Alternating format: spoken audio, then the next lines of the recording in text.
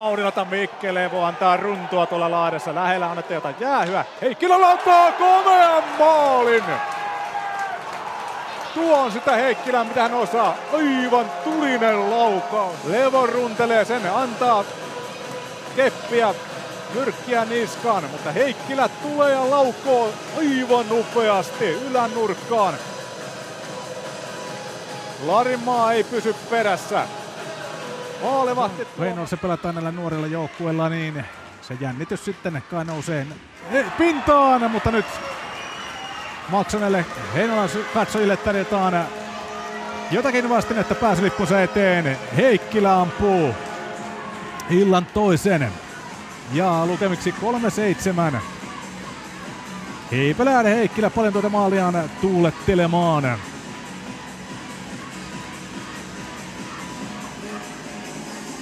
Maalin tekijäksi Sangen Hapanilme.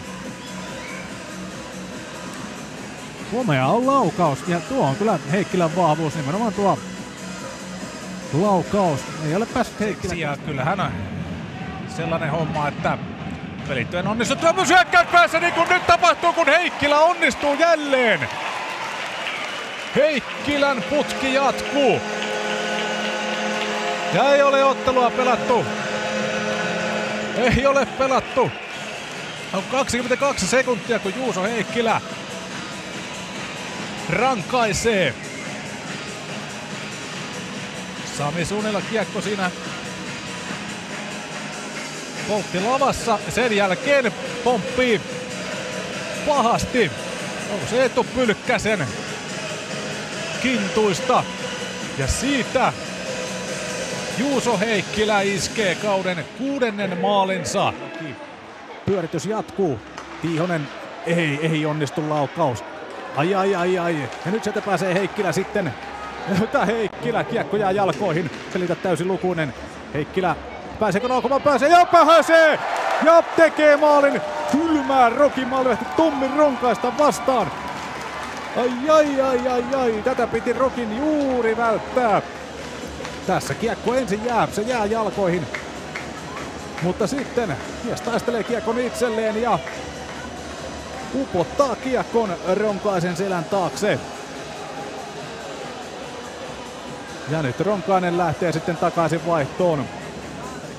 Ja mikä merkille pantavaa kaikki ensimmäisellä päävalmentajakausilla. Erään tulee Sergei Popov. Heikkilä. Heikkilä lataa maalin! 3-2! Vilho Heikkinen joutuu taipumaan. kypärä iskee jälleen. Juuso Heikkilä. Ja Vilho Heikkinen joutuu pettymään. On tämä huima mies. Juuso Heikkilä hirvittävässä maalivireessä. Ja on koosannut peräti jopa putkeen. Nyt täytyy ruveta kohta jo pläräämään tilastoja. Tuntuu, että mies onnistuu joka ikisessä pelissä, mitä hän on pelannut tässä viime viikkojen aikana.